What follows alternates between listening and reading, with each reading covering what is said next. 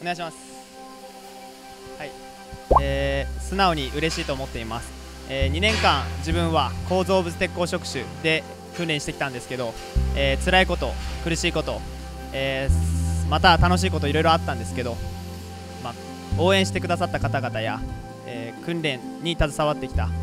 方々に、えー、感謝の気持ちを込めて金メダルという形で恩返しができてとても嬉しく思っています、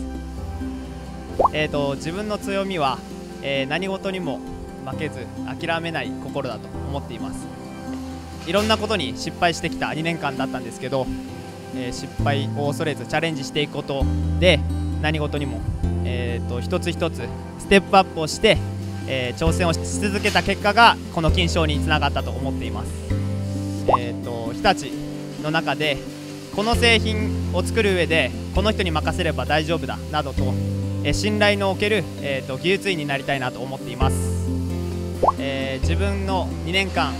培ってきた技術や知識を自分からも発信して教えていって、えー、ぜひ連覇や、えーと、金メダル獲得を目指して日々の訓練に、えーと励んでいってほしいなと思っています。